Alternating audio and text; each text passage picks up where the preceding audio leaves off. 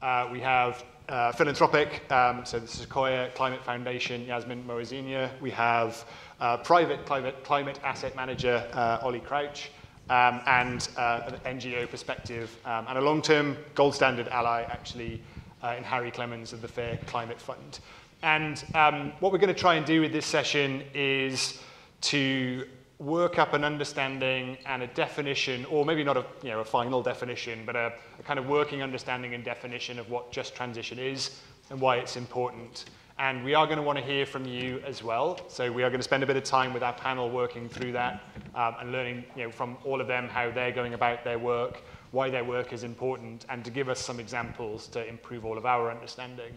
Um, and then we'll do an exercise with all of you to understand who's in the room, um, are you already working on this and did we miss anything in our definition? And then I'm hoping we can close with a bit of back and forth um, Q&A with the audience. So I'll be uh, ably assisted by my um, colleague Felicity Spores, who's just entered the room at the back there. So um, uh, she's going to make you participate. So look out for that uh, in a minute.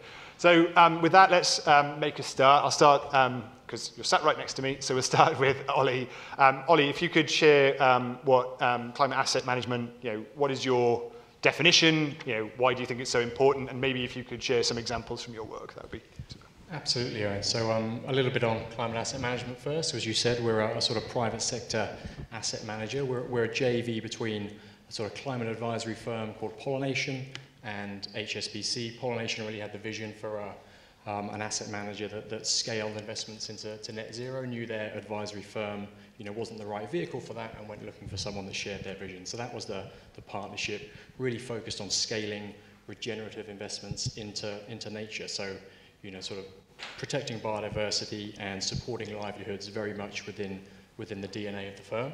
So we've got two funds within our platform. We have a, a fund that acquires land, forestry and agricultural assets. Uh, and it makes me smile because we call that the Real Assets Fund. That's not the Carbon Fund. um, and that is very much focused on um, delivering financial return to the investors. So we're you know, monetizing the timber, monetizing the agricultural commodities, but fundamentally introducing a more regenerative management um, program you know, for that land. Um, and then we have the Carbon Fund, um, which is uh, the team that I'm part of, where we are um, building out a portfolio of high quality, high impact, um, landscape scale nature-based solutions under the gold standard, under Verra, um, and we're really a retirement vehicle. Um, so I think that's a sort of point of differentiation versus some of the other funds that are out there. Um, we hear a lot about sort of the integrity challenges that this market has, but you know, fundamentally we have a, a lack of demand challenge, and, and we are, you know, we're very much building, you know, we mm-hmm. represent demand. We are we are a retirement vehicle. So from a carbon perspective, you know, we're flowing investments into, into the global south. And really, as we think about the, you know, the just transition, it's really about, you know, not leaving anyone behind as we advance on this, you know, equitable and inclusive, you know, transition for both people and the planet. Um, it's particularly relevant for the Carbon Fund, um, which is the team that I'm in, um, where we are, you know, often working with the more sort of economically uh, marginalized communities um, you know, versus that developed markets fund, which is acquiring forestry and agricultural assets, sort of less, less of an interplay. Um, so in terms of how we go about, you know, delivering that just transition on the carbon fund, you know, as I said, it's in our sort of DNA in terms of the, the purpose and the mission uh, of the business. We are a sort of regulated, you know, entity. So we have this sort of European regulatory framework for funds, EU taxonomy that sort of codifies a whole load of stuff around you know, human rights and employment matters, you know, again, that perhaps other carbon players, um, you know, aren't, you know, aren't covered by. Uh, we have our, you know, like most, we have our impact framework aligned, you know, very well with the gold standard and the, and the other carbon standards that are out there, you know, where we have to demonstrate that we're having a, you know, substantial contribution to both climate, community, biodiversity, and water, and that sort of gets operationalized through our investment criteria, where we need to you know, demonstrate that an investment is delivering on at least three of those four. So, you know, in theory, you could have investments that don't deliver, on, you know, community could be the one that's left out, but in reality, you know, particularly on the carbon side, um, you know, all of the, the investments that we're advancing are, are delivering for the community. And sort of by design, you know, we have a benefit sharing mechanism, you know, baked in to how we structure those investments you know, because, you know, partly because we just think that's good business in terms of, you know, creating that longevity and permanence of the, of the activities. Um, but we're, as a fund, you know, we have a 15-year uh, term. So we're looking to pre-finance restoration activities, receive carbon credits in return, um, and then ultimately hand those, you know, activities over to the, to the stakeholders, to the communities um, that are driving those, those projects forward.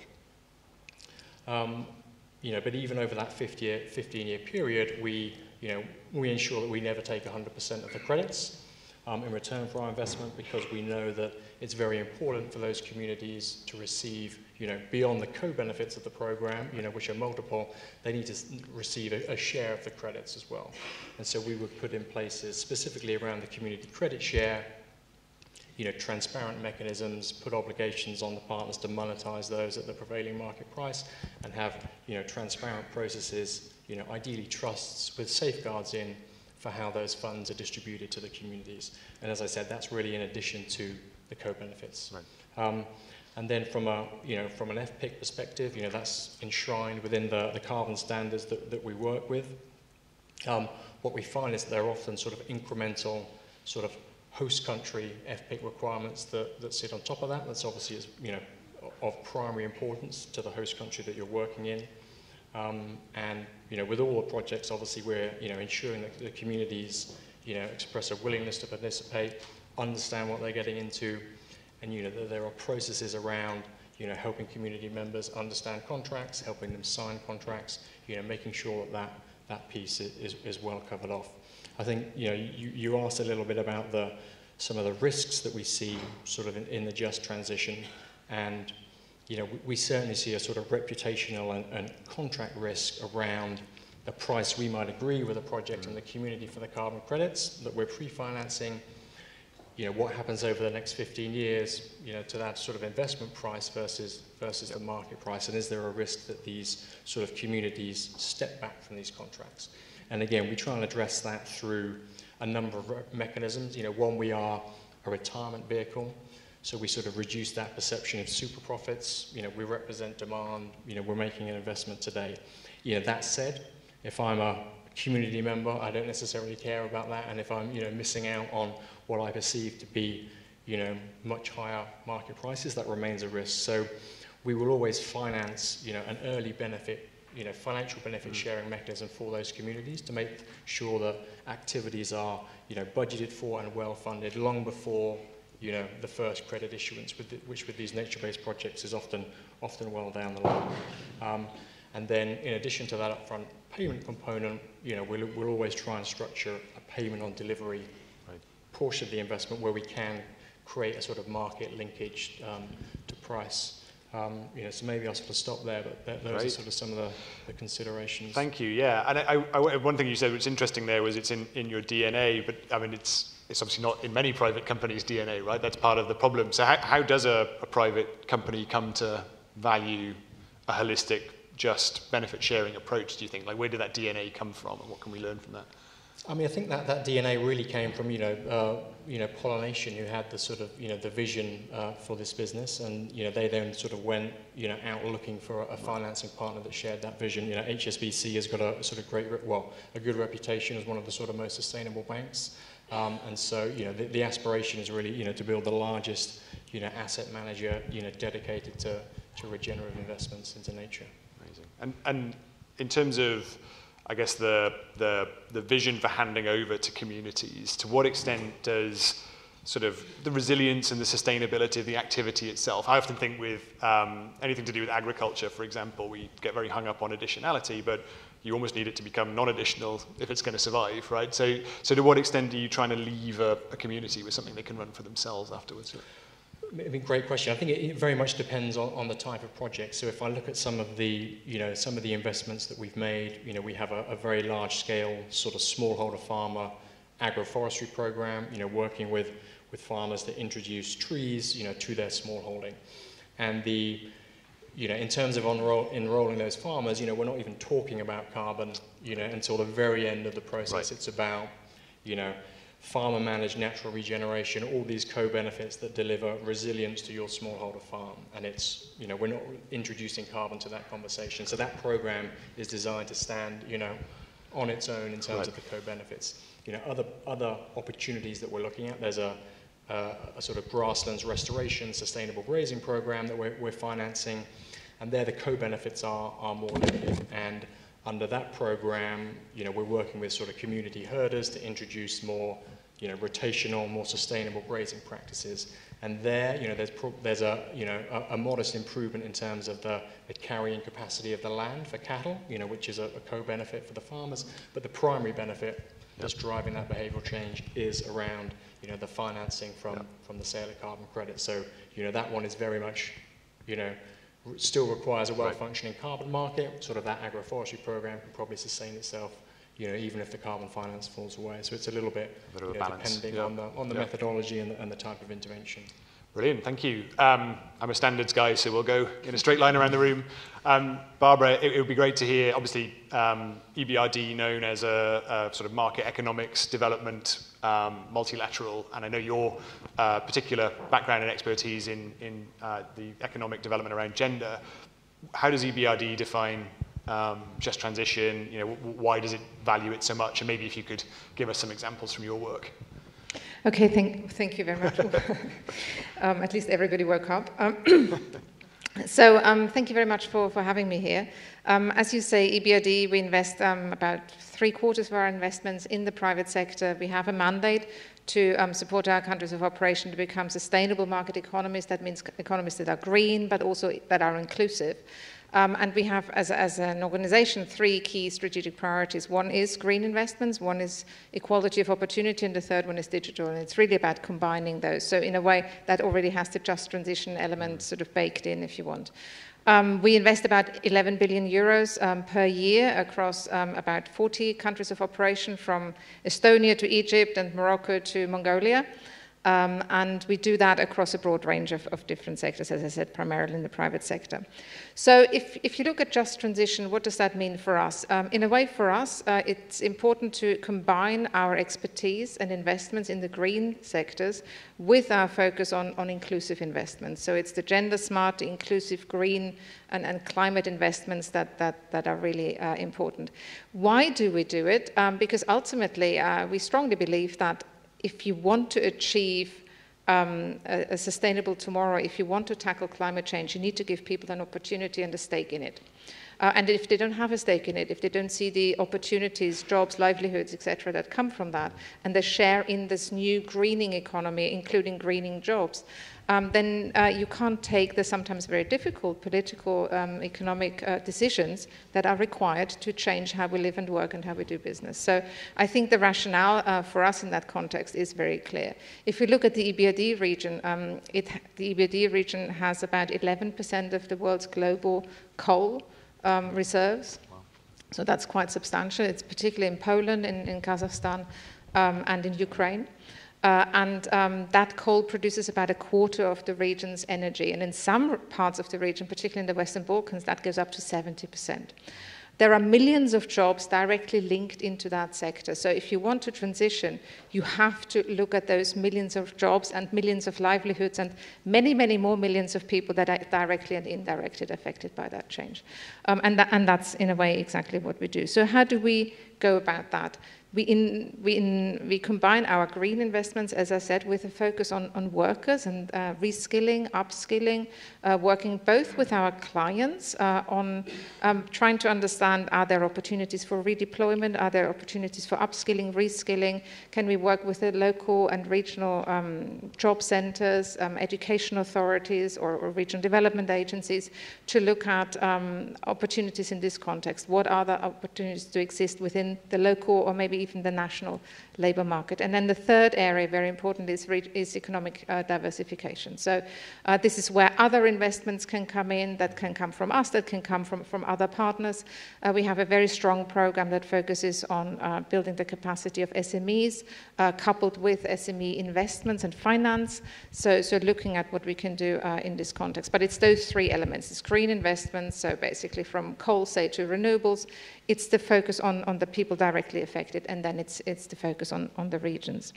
So um, you asked for some examples. Yeah. Um, maybe I give you, I start with one, and then I can come back with, with others later on. Uh, in, in Egypt, actually, we have a program called Nuafi, my Arabic is a, is a bit shaky, but it means commitment. Uh, but it also is, a, is an acronym that stands for the nexus of, of water, energy, um, and um, the third thing, food. Thank you very much, exactly. Um, and EBRD leads on the energy uh, part of that. Um, and what we do there is the focus is on decommissioning gas-fired power plants, um, five gigawatt worth, and actually commissioning uh, 10 gigawatt worth of renewables. But at the same time, also looking at the, the redeployment of the 10,000 plus uh, people that are directly affected uh, by that. So um, we're working very closely with the Egyptian authorities, with our clients and partners. This was launched also at the COP last year. Um, and we're now having uh, the first projects um, coming through. Uh, but it's exactly that sort of reorienting, uh, in that sense, uh, or in this case, the, the energy sector, and at the same time also working with our policy partners, but also other partners such as the European Training Foundation, for example, on, on the whole sort of skills side and skills policy side, but many others as well, uh, to make sure that we don't lose sight of, of, of the workers. And then finally, in terms of risks, I think very often, what is missing from the just transition agenda is some of the relevant partners, including on the on the government side. You always have the ministries for education, economy, etc., regional development sometimes, but very rarely is there an input from the ministries for labour, the ministries for education, um, and it's that human capital aspect and, and reshaping that human capital that is so important that is that is often missing. So we're trying to to bring that in as well and work with our partners in this context. Great, thank you. And just from an investment perspective then, is it, are you, does EBRD look for something that is already incorporating those elements, or does it also invest in things but work with the partner to include those elements, if you see what I mean? So it's, it's the latter, really. Yeah. So we look at additionality of impact. So if everything is already there, then that's great. Um, but um, where we can really make a difference is if we shape things. Right. So, so me and my team, we look at the human capital side of things. So we work with our clients to, to undertake a, a mapping exercise of which jobs will be affected in what way. Uh, we work with other partners, um, for example, in, in Egypt, to use artificial intelligence to understand um, what skills do people actually have beyond their formal skills, what informal skills do they have, how does that link in with the needs of the local labor market, how can we do that mapping, getting the job centers involved, um, training providers, shaping training programs also so that they reflect the needs. So it's, it's, it's very much shaping it as, as, as we go along. That's great. And how receptive are I mean, money talks, I appreciate sometimes, but how receptive are partners to those ideas? So I think, um, I mean, many of our partners in, in the energy sector are SOEs, um, and they, they do recognize the need to look at uh, the labor market and the social context more broadly. Right. Um, and, um, and certainly when we then, particularly for, for, large programs such as NUAFI, you know, we work closely with the authorities and they fully understand the social implications um, and, and the huge risks that come from uh, not dealing with, with these issues. Right. So, so in that sense, the, the, the question is not often so much whether we should do it, it's more how do you right. do it? How do you do Pushing it well? How do you do it effectively? Yeah. yeah. And sorry, last question. Um, do you, it, I mean, it, it, reads to me that EBRD has always had a seam of just transition running through its work, right? It's always been, maybe we didn't call it that 20 years ago, but it's always been there. Has anything changed recently? Is it in the context we're in now, post-Paris? Is it? Yes, I, I think um, so. EBRD had well, has it always had it? I'm not sure. I think there was a sort of um, as, assumption that yeah. you know if we invest in a particular sector in a market, the benefits for people will be there. Right. Um, and then it was about 11, 12 years ago where the, we commissioned a, a, life in transition survey and realized that actually the benefits were not always equally distributed right. and sometimes not necessarily there from the transition uh, process. So that's what spurred this focus on let's try and understand how do our investments impact on people and jobs and livelihoods, um, and not just how, but also how can we enhance that impact. Um, and, um, and that's when this uh, whole economic inclusion approach was, was developed. We then had our first strategy. In 2020, we launched our Just Transition Initiative. In 2021, we, launched our first Equality for Opportunity strategy. Um, and that really embeds a focus on that now into how EBRD invests and engages with our clients. But we've been on a journey here yeah, as well. Interesting. Yeah, thank you for that. Um, on the multilateral couch, we've got um, Carel Cronenburg from the Council of Europe Development Bank. Um, so CEB, known also for social development, um, especially, but I, I, guess the same question, you know, how are you defining it and why is it so important? And again, if we got some examples from your world to add some flavor. Yeah, well, thank you, uh, thank you very much, and also thank you very much for, for inviting us. Um, we're a bit unknown uh, multilateral development bank because we have a very specific mandate, which is a social mandate. Um, our organization is, is linked to the Council of Europe, which is based in, in Strasbourg. Um, we have 43 member states, and we operate also in 43 member states. It's a bit overlapping with the EBRD. Uh, so we also operate nowadays also in Ukraine, uh, Turkey, uh, Georgia, up to but also countries like Iceland, Portugal, and, and Norway even. So it's very much, uh, um, uh, I would say the organization predates basically the, the, the EU in that, in that respect. Um, the, the focus has always been on migration and migration crisis, and that's also the, I would say, the, the, the reason why we, why we exist. Um, but the bank has developed uh, throughout the years very much into a, a bank with a very specific social mandate which is very specifically focusing on health, education, affordable housing, uh, urban development, and very much microfinance. But the key, uh, the key uh, in, in all our work is, uh, is basically uh, a focus on, on looking everything to a vulnerability lens. And um, focusing also on vulnerable groups. And, and that is also how we look at, at, um, at, at, at just transition basically it was very interesting. I only joined the organization a year ago, and the word just transition was not in the DNA of the organization. Um, and, and, and, the main reason was that uh, climate change was seen as a, as a cross-cutting topic, as, a, as I would say um, a mega trend, uh, just like you have other mega trends as well, like uh, for instance uh, social trends, uh, the migrations that's happening, uh, gender, but also very much uh, digitalization and all the things there. And climate change was basically seen in that, in that specific context. Um, but the uh, CEB has, um, has basically been working in the last two years uh, together with the other MDBs in implementing a Paris uh, alignment strategy. And, and, and, and climate change has become, I would say, more prominent in the organization.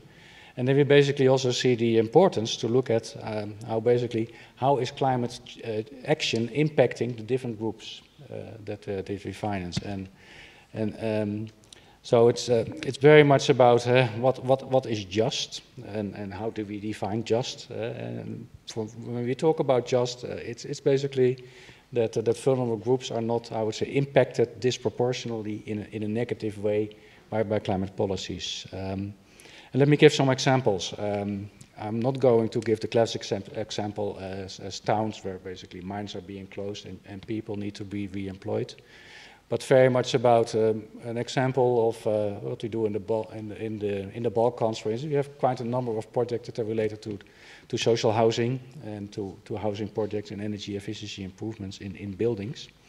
And what is very challenging in those, uh, in those um, I would say, uh, projects is how to make sure that the people that are in, in, in most need of, um, I would say, renovations actually being addressed. Um, because it's very easy to define an energy efficiency program um, for homeowners, and they subscribe to it, but that are definitely that are normally the people that have a little bit more income, that can uh, that are able to to finance those those in, um, uh, to to co-finance those investments also to take the risks. Uh, but how do you really address those people that can't afford that? And uh, for us, it is, um, I don't know if you should call it just transition, but it is uh, very much looking to, I would say, to, I would say, actions that are needed because of climate change and how to make sure that uh, vulnerable groups are, are, taken and also benefiting from those, uh, from those developments. Another example is, for instance, um, we're working very closely also with national development banks like the, the Bulgarian Development Bank and the Hungarian Development Bank. Um, and, and, of course, they're also thinking about, I would say, electrification and about, I would say, introduce, introducing electric vehicles, making sure that uh, also uh, SMEs and small companies uh, are basically having access to those vehicles. But how do you make sure that not only the companies that are, I would say, are able to, to buy those vehicles and able to, to absorb the subsidies, but also the other groups that they're not getting out of business. And we have seen examples of those cases, uh, even in France, uh, where you have these, I would say, emission zones, uh, and people that can't afford to, uh, to buy a, a, a, a, new van or a better van are basically just getting out of, uh, out of business. So that is very much our, I would say, our approach uh, to, to just transition. And one of the risks uh, that we see is that, um, um, well, I would, I would almost call it uh, just transition washing, what could, what could take place. Um, that, uh, oh, wait, wait, a minute, we, do a, we, we put a solar panel on a school, okay, that's a just transition project because it is both a social benefit and a green benefit. Um, or that's basically just good practice eh, that you, well, of course, you have always to take into account in every project that you do that you do no significant harm to, I would say, social impacts. Um, and um, just that you don't do significant harm doesn't mean that it is a just transition project. So it's very important to think about uh, what are the indicators, uh, what are the standards, and, um, and that's also why we are, I would say, so interested in, uh, in the work that, uh, that is being done by would say the standard setters here also in the room uh, to see how I would say we can develop better indicators to see what are really good uh, good transition projects. Great, thank you. And it, so it sounds similar to Barbara's articulation that CEB has been on a, a journey to some extent, but it sounded like from what you said there was quite a sharp you know, it wasn't a term used a year ago and, and now it is. Was there something that clicked that into place or, or has it always been there and you gave it a no, definition? Or? Basically what has been the, the watershed moment is that we, um, that we got our new development plan, which was approved at the beginning of this year. And the fact that um, uh, one and a half year ago, there, uh, we approved our, our, our Paris alignment roadmap. It basically means that we will follow, just like the other MDBs, that all our finance needs to be aligned with the Paris Agreement.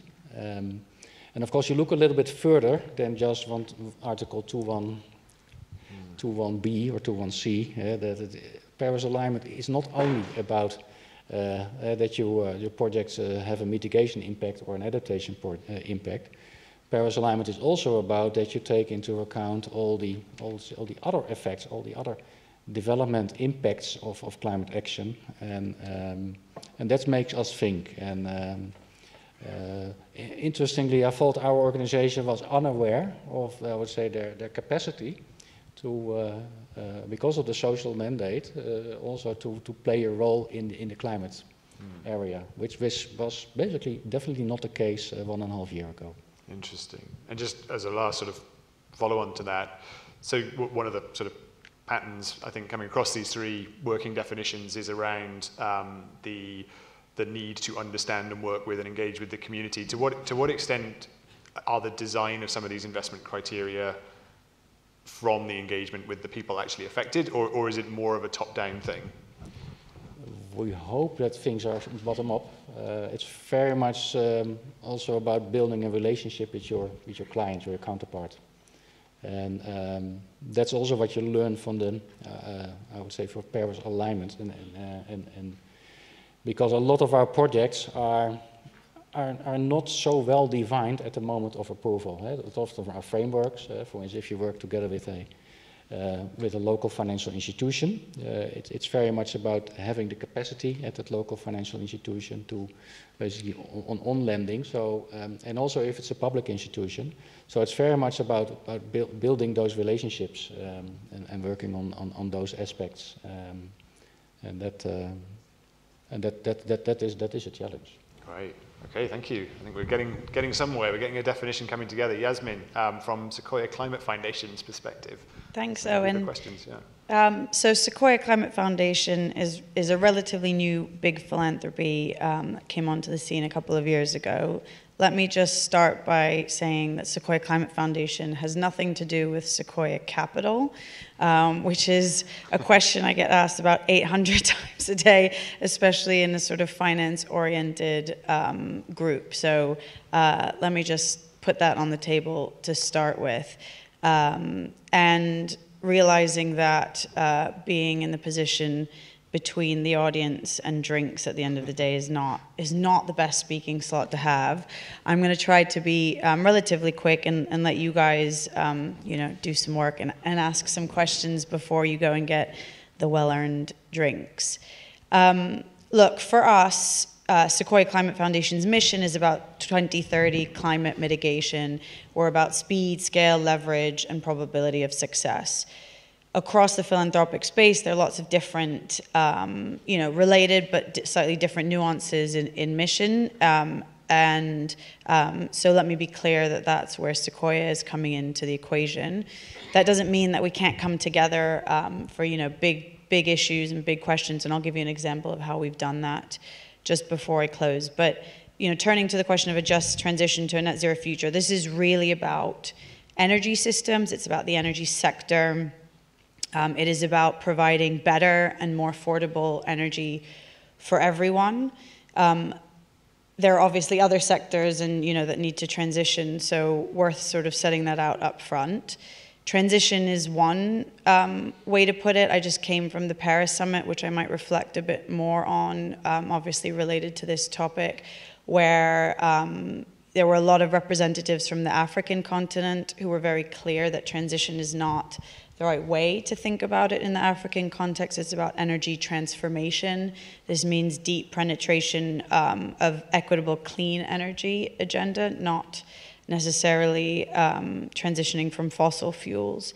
So let me throw that into the way that um, our thinking uh, is sort of adjusting.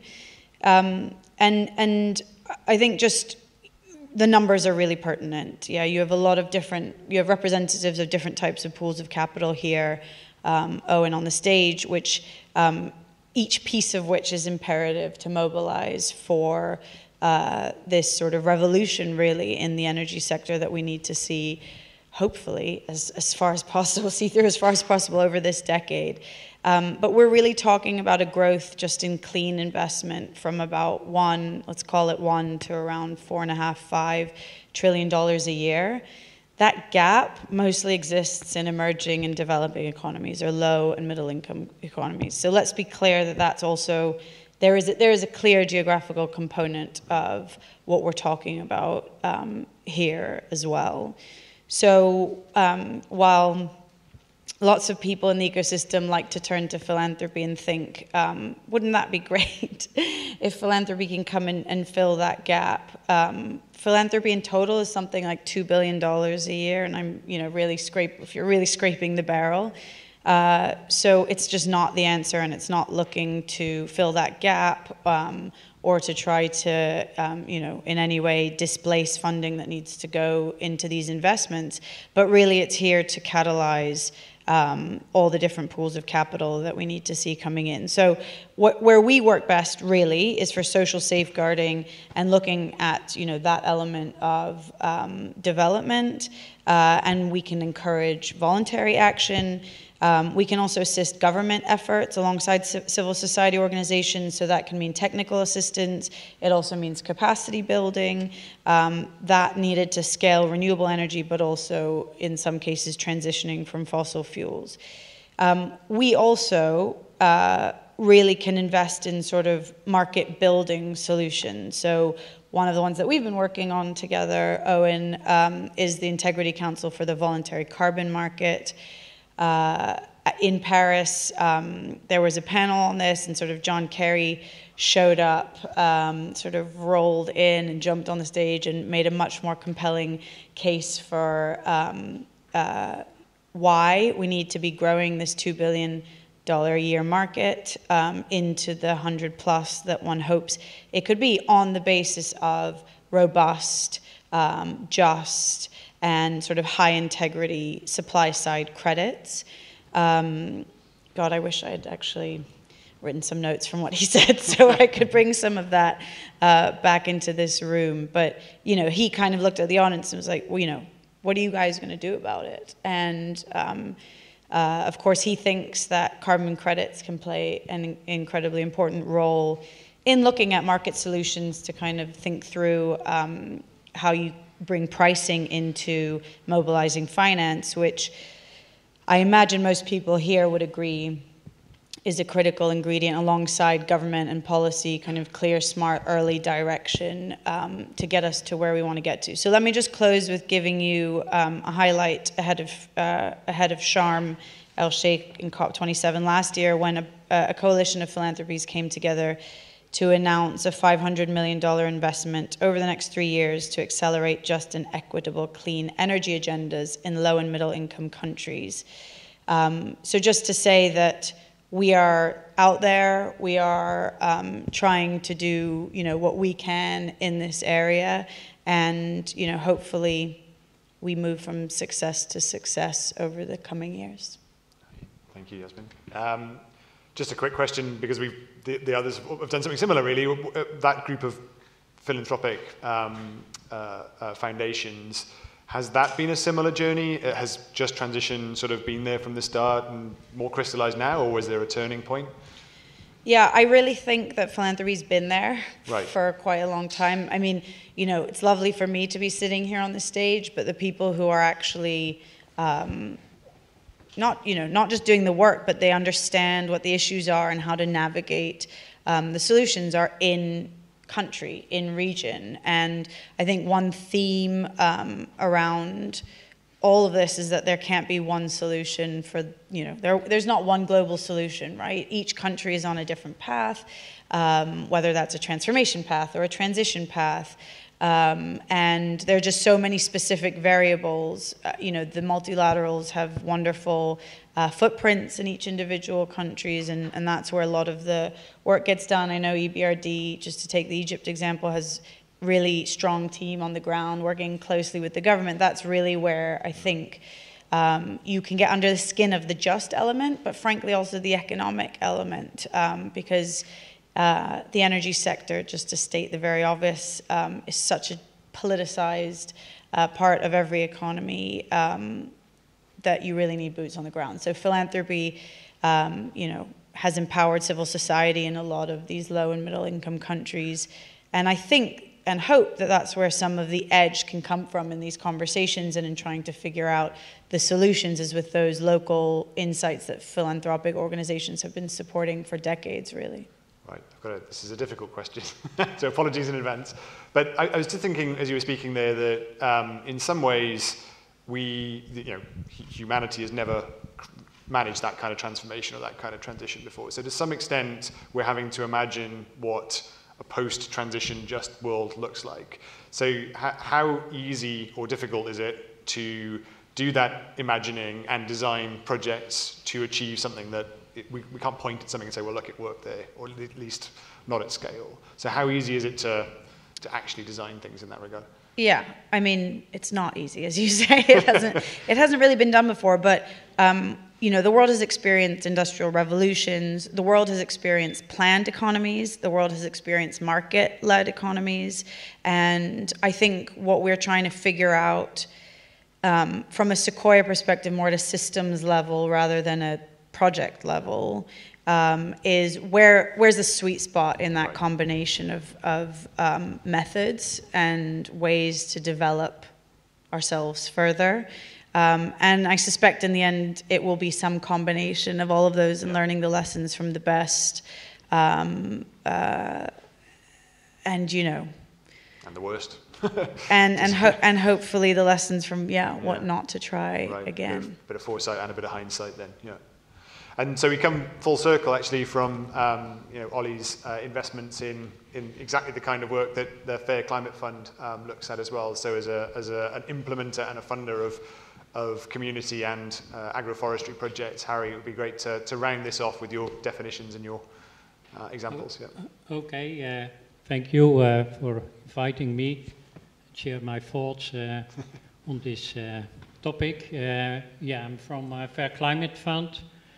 Eh, Fair Climate Fund is a small company uh, based in the Netherlands uh, with one shareholder, which is Cordaid, and that's an international development organization, an NGO. So we come from the development part. And what we do is, yeah, to we work in the carbon markets and we help Eh, eh, to develop uh, projects and to implement carbon projects together with local organizations in the global south. Um, yeah, to, to help people, the vulnerable people in the global south to get access to the carbon markets and to improve their lives. And the most important part is in the clean cooking uh, sector. Uh, and that's because, uh, yeah, uh, reality is that many people, of most people in Africa, still depend on firewood and charcoal to cook their meals. And that's a big, big uh, health problem. That's a big uh, development uh, problem. Household air pollution is still killing yeah, more than 3 million people each year in, in the world. Uh, and uh, so there's a lot of, uh, yeah, the dirty cooking is creating a lot of problems for the people. So, um, and besides, so we help project developers, local organizations in the south to to design projects and to implement projects to move to uh, Uh, cleaner uh, fuels. And it's interesting to hear the, the, yeah, the, the, notes on the energy transformation uh, because uh, in Africa, because we consider that uh, energy transition in Africa means the transition from firewood to clean fuels. That because the most important energy source in Africa is firewood and not uh, fossil fuels.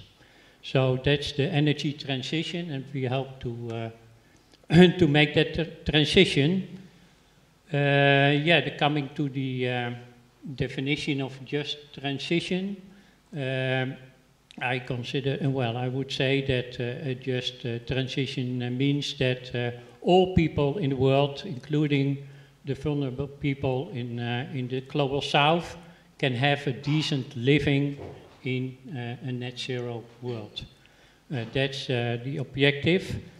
And yeah, the, the carbon markets are uh, kind of a small tool in, uh, in that transition.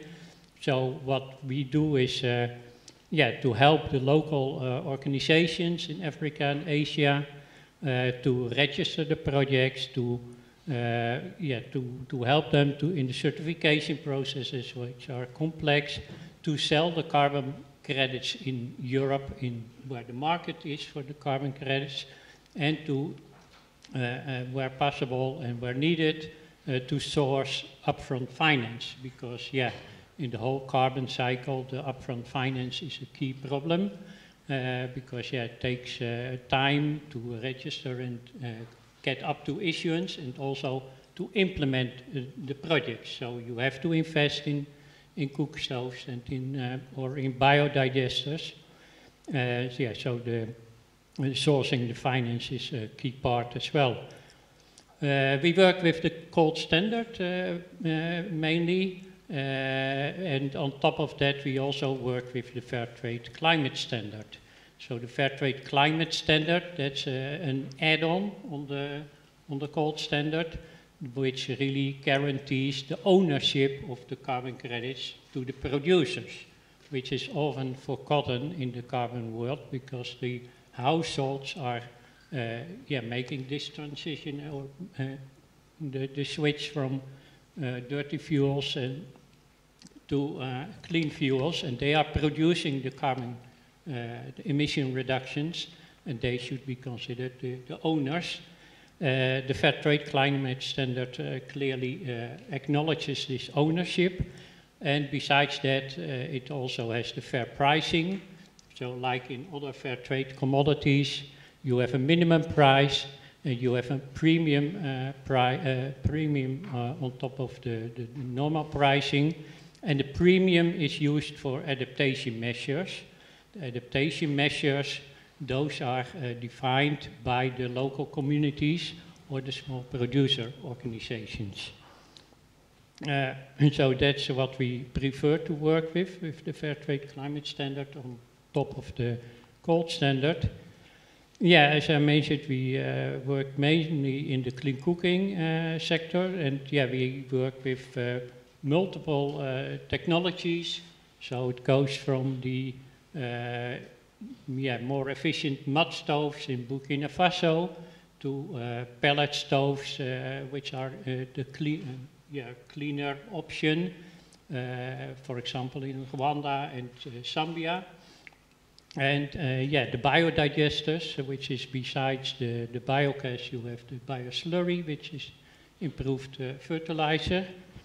And now we have also uh, a, a, partnership with ATEC uh, for the cooking on electricity, because that's an interesting new development that uh, cooking on electricity is coming up as an option for people in remote areas. So that's uh, in Bangladesh and uh, Cambodia. Uh, and there we work with the new methodology from the gold standard on the metered approach. And there the, uh, the, the setup is uh, that yeah, you have the remote monitoring, real-time verification, and that also enables to share the benefits because that's the other part of the Fair Climate Fund that we really want to share the financial benefits with the households uh, and that uh, in the partnership uh, agreement with ATEC, Uh, yeah, there, will be a direct flow to the households of the of the uh, of the revenues of, from uh, selling carbon credits.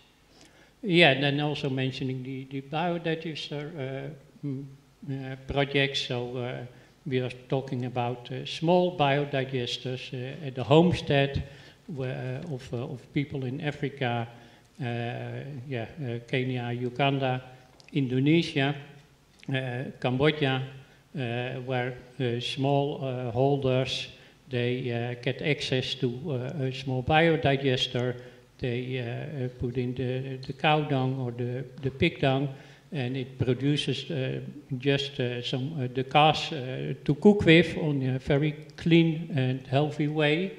and also it produces the, the improved fertilizer, the, the bioslurry, which is used on the on the crops, uh, and there is the yeah the the, the gender uh, impact really uh, important because it's on the uh, the, the bioslurry is mainly used on the crops close to home, uh, which are under the women's uh, domain. so there's a real yeah, control and women empowerment in those projects. And, yeah, the food security, etc. Yeah. yeah.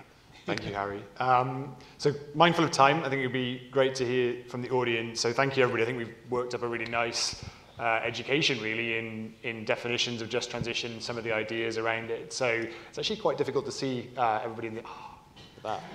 Um, that's made it easier. Um, that's the power we wield from the stage. Um, so it would be great to get a sense of who's in the room first. So we'll do this with show of hands, and then there's going to be a second exercise. We're going to ask some of you to stand up. So just prepare for that.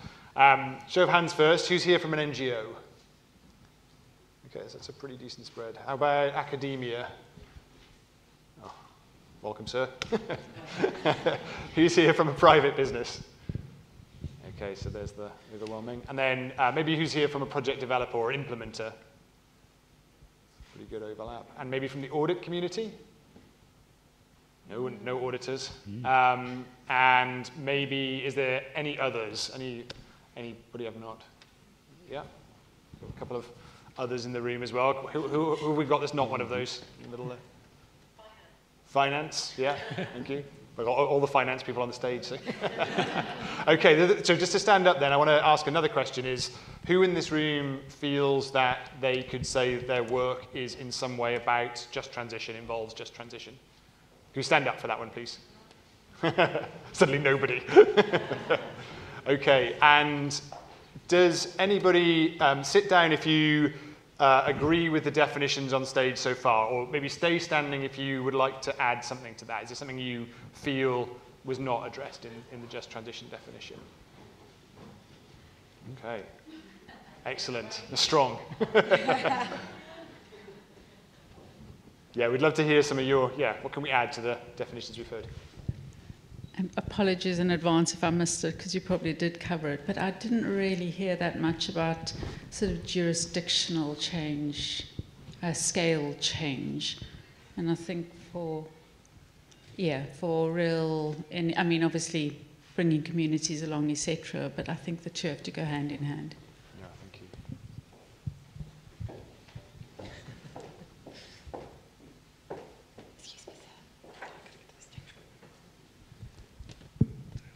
Really put myself on the spot here. Um, I guess there's a logical component to what would constitute a just transition in the sense that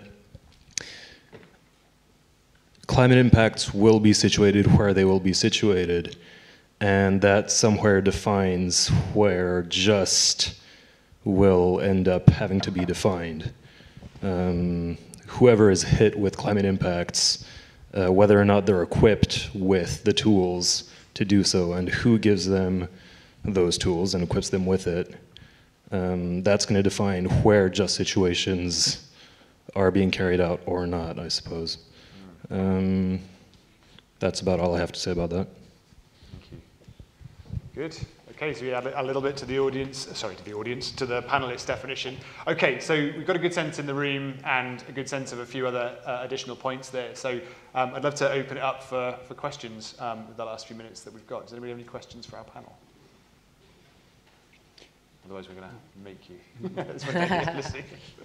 is there, where's one? Just down here. Put hands up high. Oh, Parth. Yeah. About as far away from you as we could. You could About as far away. We also want to respond to the Okay, thanks for keeping Yes, me fit, okay, yes. Parth. It's great. I just needed a bit of a workout.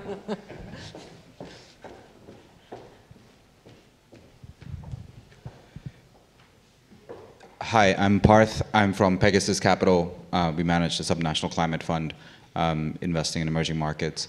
Just a question. We're all kind of deploying capital on the stage. I do it myself.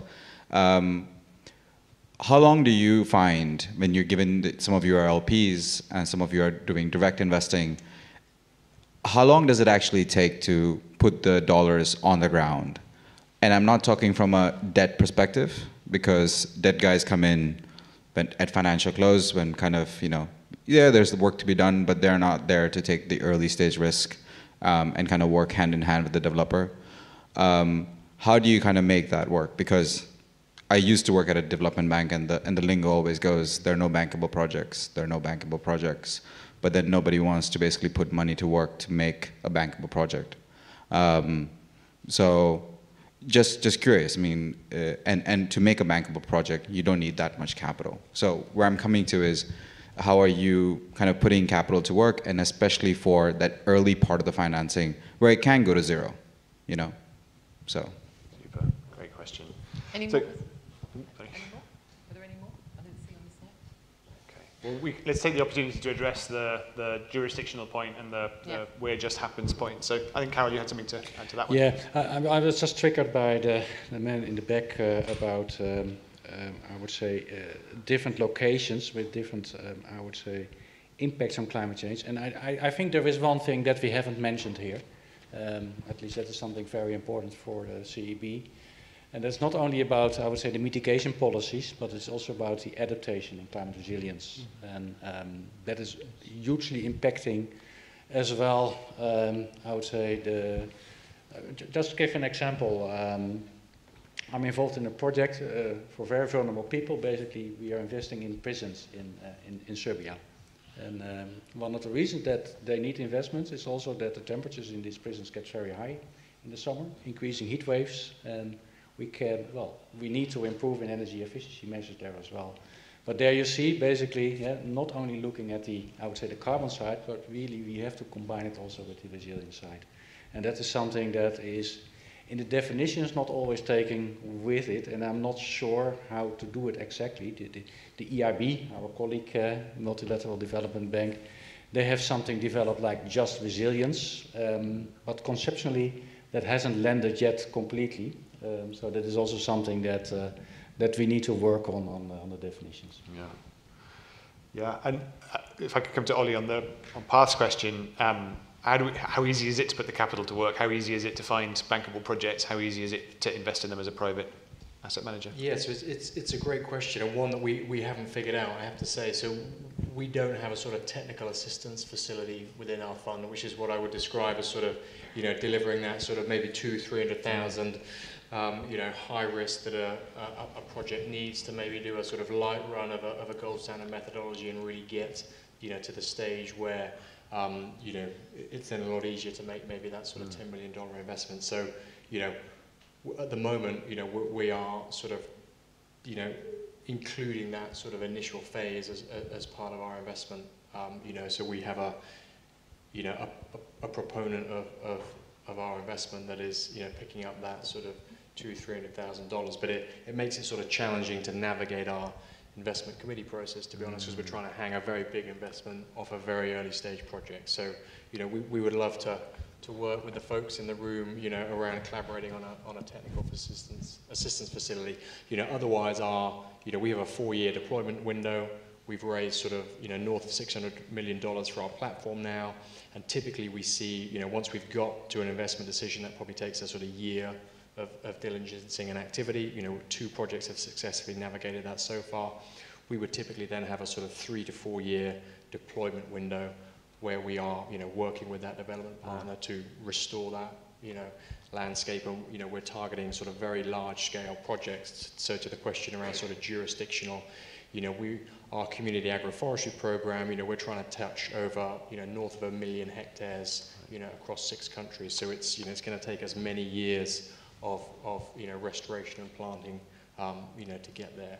Um, and then the other sort of thing we try and uh, target with, with, our investment sort of thinking around sort of jurisdictions is, this, is the sort of landscape approach. So we like to see sort of project, you know, if we're investing into a, you know, a reforestation project, you know, at the landscape level, you know, we like to see that nested in with, you know, a conservation zone, you know, you then maybe have a sort of productive forestry zone, you know, an agroforestry zone, you know, and then more sort of traditional mm. agriculture so that you know that at the sort of the jurisdiction or the landscape level, um, this, you know, it's going to be working for all the, all the yeah. stakeholders. Yeah. And, and Barbara, is, is, is it a similar, I mean, you, you work at a different order of magnitude in many ways, but is it a similar set of challenges even at scale? Is it, is it difficult to find bankable projects? And what sort of hit rate or failure rate is there at that technical assistance level? To, to lots of investments make it through, or is actually is that quite difficult to get investments to that level? So, from our experience, um, we do find bankable projects. The question is, do they achieve the impact that we want to achieve? Um, is it really about just transition, or is it a very good green project, which is fine too, you know? But uh, or is it actually neither? Um, in which case, it, it, could be fantastic, but but not not for us. Mm. So it's it's for us, it's it's more sort of selecting those that that actually do what we want to do. We do have access to technical assistance and we do deploy it um, for project preparation across various different um, areas, including on the sort of human capital and, and, and just part of it. Um, so that's one thing. The other thing is, of course, we are subject to macroeconomic developments, as, as is everyone. So some projects that look good at one point may then drag out for a number of reasons that, that have nothing to do with the actual project, but have to do with the country or the economic situation as it, as it develops. And then sort of, you know, sometimes things take way longer uh, uh than, than, than we think. So, you know, it's that, I, I guess it's a combination of, of, of those two. Yeah, please, Yasmine. Yeah. Um, thanks for the question. This is the million, I mean, this is literally the chicken and the egg of why this is not moving. Um, just like a couple of points. One is that I think a big part of what Paris and this summit was about was um, trying. We need to fill this financing gap at scale, and the only way that's going to happen is with a change or reform in the way that um, finance actors think about risk. And and I, that was a big theme um, in at the summit. You know, with all the multilateral actors there in particular, but also the G20 governments um, who own the multilateral development banks, and um, you know, a big focus that has been put on the new um, uh, MD of the World Bank has been to think about how to make that shift because that, I mean, that is where the market is looking for finance to fill that gap, um, and it can't do it on the terms that it, that it has now. Uh, and you know, there's lots of constraints across the whole community. So um, I think breaking through that barrier in terms of how multilaterals think about risk is just critical. And there's lots of different components to that, from you know the political to you know current local currency and kind of in, it, um, interacting with also um, indebtedness as a theme. Some philanthropies have gotten fed up and basically started to go fishing with a pole um, and start doing, you know, filling some of these financing gaps on projects. Just a, a data point that might be useful that answers your question directly is um, philanthropy set up this one, uh, it's called SEACEF, S-E-A-C-E-F, um, facility to basically do this. I think they've done four projects in two years, but they're now growing it with new partners, philanthropic partners that are coming in, um, and they're going. It's called Allied Allied Climate Partners. They just hired um, one of the VPs from the Asian Development Bank, Ahmed Saeed, to head it up, and they're going to go into Latin America, Africa. I uh, obviously they're going to keep SEACEF and maybe the, the Asian subcontinent. So they obviously think um, that there's a model there, and um, you know we hope that they're successful. But I, you know, for me, I just go back to the point of, and of course, being Sequoia, I would say the scale. Like, how do you, you know, how many projects need to happen? And can philanthropy really fund that many or fill that gap through guarantee before you reach a tipping point and these things become um, financially viable. And um, I think that's why there's so much emphasis on looking at the multilateral system and, frankly, private capital. I mean, we've been talking about how to create financial instruments that, that really, um, you know, bring the incentive home clearly from a financial return perspective. Um, the answer remains elusive. Difficult. All right. Um, well, that brings us, the clock says zero. Uh, we've got one more question. Yeah. Say it fast, Nate. Could somebody sing a song? Throw the microphone. Thank you. Uh, I'm Thomas Harry from Phoenix, Cap- uh, from Phoenix Carbon.